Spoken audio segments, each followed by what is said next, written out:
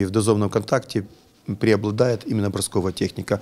Поэтому э, и были некоторые э, поражения из того, что не до конца спортсмены владеют э, бросковой техникой.